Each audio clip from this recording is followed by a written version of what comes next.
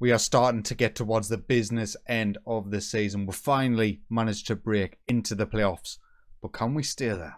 Following on from the last episode, then the first game was away from home against Burnley, and we were so fortunate to come out of this with three points. Ruben Burgos put us ahead 43 minutes in. He got himself sent off in the 62nd minute, but we just about managed to hold on. And I think Burnley were in fifth place at the time, so it was a very, very good win. We then hosted Brighton and managed to win ourselves another, managed to win ourselves 2 1. Luke Daly with the goal, Nathan Ferguson with an own goal, Lucas Vigal with the goal for them. And something broke in my brain after this game. We went away from home against Leeds. They are really struggling in the league this season. And we got beat 3 0. And I just, I'm not liking our tactic and our formation. We're not getting the best out of our attacking players. It's really starting to cost us. And I would go into potentially if we can get there into the playoffs. I wouldn't feel confident that we're actually going to be able to make it and win the playoffs. So I've kind of, after this point, there has been a slight change in tactic. And it did pay off in the very first game. We managed to beat Wigan 4-1 at home. Fabio Borini for the penalty spot, Lewis O'Brien, Iradikunda, the centre half, the one we signed from Arsenal, that's the guy. And Ben Beachy got the goal. So we're getting a little bit more of our attacking players with this formation. Uh, one more game, which was a 2-1 away win against Hull City. Now, if you remember, Hull are one of the sides who were sitting in the playoff spot. So to get this sort of win away from home was absolutely huge. Alex Mowatt did put them in from 20 minutes in through the penalty spot, of course, our former man. Um, but Lewis O'Brien and Dimitri Principato got a goal apiece to give us the three points. So the championship table is looking like this. We now sit in sixth position, two points clear from Stoke and Hull in seventh and eighth. We're a bit far off automatic, so I think right now we can rule that out. Newcastle and Wolves are very likely to end up getting promoted automatically. We just need to solidify ourselves as a playoff team and get prepared for such an eventuality. But talking about the tactic, this is it. so basically, we've removed a centre half, we've removed a striker, and put them on the wings. Um, we've dropped the deep line playmaker back, and this is what we were left with. We don't really have the players to match this system, but I'm a lot happier with how the even if our results don't change that much, I'm a lot happier with how the performances have been going. The attacking players are getting a decent ratings now. They're getting involved in the game more. We're creating opportunities. And even if we have the exact same results, I can guarantee you I'll feel more satisfied with how our attacking players are going in particular. So that takes us to today's games. Then there will be against Sheffield Wednesday at home and Blackburn Rovers away from home. Sheffield Wednesday are really struggling, sitting in 23rd, and Blackburn are around mid-table, sitting in 15th. So this is the sort of side that we're going to be playing now. Pereira will, of course, still be in goal. Guel and Mick Quirk, I think, are our two best centre-backs, basically. Guel is just returning from injury, so he will take some time to readjust back to being a starter. But Mick Quirk, of course, has done some excellent stuff for us over the course of this season, so he retains his spot.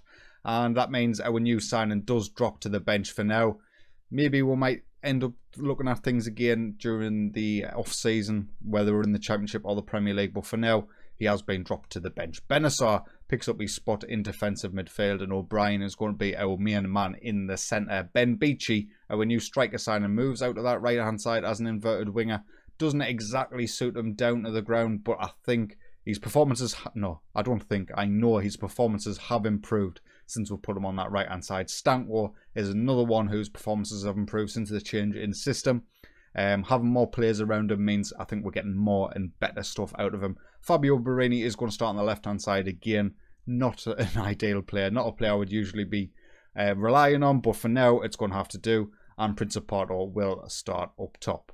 So I'm hoping to see over the next five games or so the team start performing better getting more goals, creating more chances as we get used to this new system and as it gets um, as the, as the new players start to bed themselves in as well because they are still very fresh, only five, six, seven games into their uh, Huddersfield careers for many of them. So I have to give it time and I have to not panic.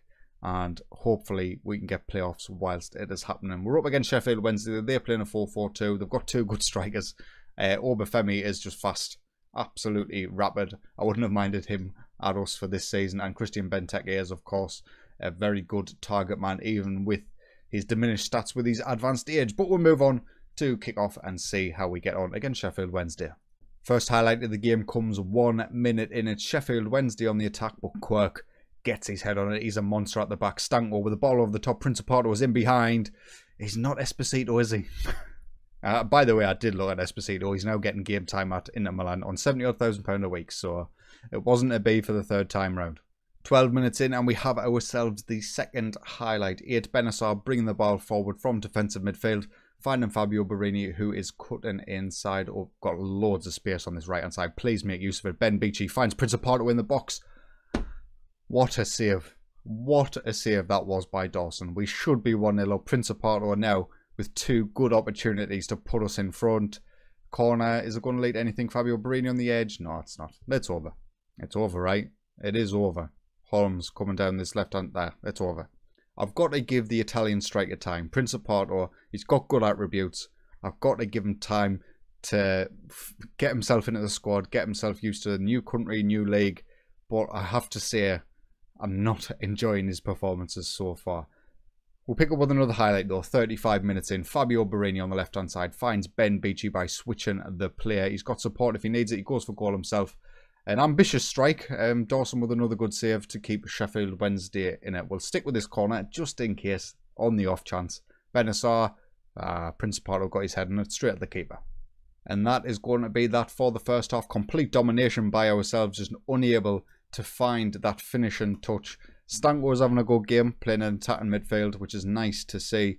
And five minutes into the second half, we have ourselves the first highlight. Lewis O'Brien finds eight Bennacer.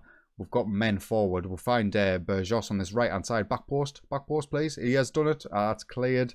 And it's going to be a Sheffield Wednesday break. Obafemi, we know he's got pace. We pinpointed that at the beginning of the game. Fantastic save. Fantastic save by Pereira, keep keeping us in it. Sheffield Wednesday's first chance of the game should have put them 1 0 up. The same highlights continuing. That, that's what I thought. Stanko picks up the ball on the right hand side after a throw in. Burgos out. O'Brien. Oh, I just had visions. I had visions of that ripple in the top corner. Right, we're going to have to make changes. Principato is not having a good, good game. We're going to take him off. We're going to bring on Albion Ajeti up front. Um, what else we're going to do? We're going to bring Kazoo on for Luke Daly on that left-hand side. And we're also going to bring on Ryan Nyambe for Burgos on that right-hand side. Bring some fresh legs in the wing-back roles as they are always, always knackered. Come on, boys. 15 minutes to go. Get this goal to put us 1-0 in front. Quirks tries to switch the play at the left-hand side. Passing is clearly not his forte as Holmes and Iorfa keep the ball nicely for Sheffield Wednesday. We do win a though in the midfield and Stanko That was a weird header. Ajeti on this left-hand side, he's drifted out wide. He finds Borini in the box. He goes for goal. Fabio Borini, his ninth goal of the season. He's played all over the park for me. He finds himself in his more natural position on the left-hand side, and he gets his ninth goal of the season, putting us 1-0 up. We needed that. We really, really did. Sheffield Wednesday are not a good side. We can't be affording to drop points against these sort of teams, and Borini with a beautiful finish. Another highlight now with only 12 minutes to go. We have dropped back to a more positive uh, team mentality to stop the boys pushing forward too much. But um, I still wouldn't... oh, man. No. Benteke hasn't got the pace. But Obafemi has. He plays it in Obafemi. He's in behind. We know he's in behind. Joel Pereira again with another good save. Maybe we'll just uh, drop the line a little bit, huh? Uh, more standard defensive line, I think. And time is ticking away in this one. Three minutes of injury time. Is there going to be another highlight, maybe a chance for Sheffield Wednesday? It doesn't look like it's going to be. And we get ourselves a 1-0 win. Fabio Borini with the goal in the 76th minute. he bailed us out there. He really, really did. Blackburn's up next. I'll see you there. So we're back for the game against Blackburn Rovers. No changes to the starting 11 as things stand. We will keep things the same as the win against Sheffield Wednesday. Hopefully, Principato might start. Um, hitting the ground running a little bit. We're sort of running out of time to give him time to gel into the squad and stuff. But you've got to give him time, Sam. Please give him time. The issue is I've been spoiled for strikers with both Barnsley and Birmingham. So when you sign one who doesn't hit the ground running, it's a little bit disappointing. But we'll see how things go in today's game. O'Brien picks up the ball, whips it into Borini. Oh, he hits the bar. Free kick. O'Brien is the man to take it. It goes back post. Oh, it's cleared off the line. I think Jadas got it off the line. I think it was Beachy with the header. And we almost go 1-0 up. The highlight does continue. Burgos whips the ball in. It's cleared. And surely that is the end of end of highlight. End of highlight. I don't like this. Blackburn are keeping possession really, really well. Silva drives forward and goes for goal. Uh, just don't show me that. Another highlight now. Jadas picks up the ball in the midfield for Blackburn. Rovers feeds in to Madron and they come forward through the centre. Jadas has found a pocket of space over the top. He's in behind. Pretty close. And there goes the first half. Not a lot happening, uh, particularly from our side. Blackburn are the more likely of us to score, even with the match stats looking in our favour. We'll see how the second half goes. Again, Stanko's having a good game. I like to say that. Prince Principato, not so much. Highlight now. Jadas with a free kick for Blackburn. Plays it short to Siglio. Goes for goal. Oh, he's offside. He's offside. No need to panic. No need to worry. Louis Madron um, was the man who hit the ball after Jadas had took the strike. And we survive ourselves another attack. Another corner. Blackburn again. We managed to get a clear Constanco counter for us. 20 minutes remaining on the clock. He is... He's got Principato in support and not a lot else. He finds O'Brien on the edge. Oh, we need to hit the back of the net. Fabio Borini is struggling out there. We'll get Albian Ajeti on on that left-hand side. Does mean is probably going to see out the rest of this game. It's Ben Beachy not having the greatest game on the right-hand side. Um, but we'll see how the rest of this game goes with 20 minutes remaining. We're going to go attack and we need a win. And time is ticking away. It doesn't look like the goal is going to come in today's game. And looking at the match stats, we should probably be doing a lot better with that. But if you go by the highlights, I think Blackburn had the better of the game. Um, so it swings and roundabouts, really. With six games remaining in the league season, we sit in the playoffs, three points clear from Hull City in seventh place. We've got six games to figure this out. Um, we need to stay in the playoffs, obviously. Uh, we need to keep up the momentum that we've got going. In terms of, well, we've been doing pretty well. I mean, this when did we we took over here? Um, we've done pretty well. We haven't been beat that many times.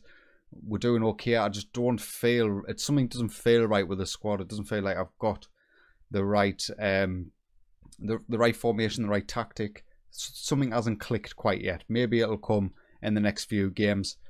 The next episode then, um, if we could, if we're in the playoffs, I'm going to skip straight to the playoffs. If it comes to this Bristol City game, and we're not quite in the playoffs yet, I might have to bring you an episode then, maybe the Sunderland and Bristol City game, just to get us over the line and in case we'll miss out, which is a possibility. But anyway, if you have enjoyed today's video, please consider leaving a like and if you are enjoying my content, get yourself subscribed. But until next time, take it easy.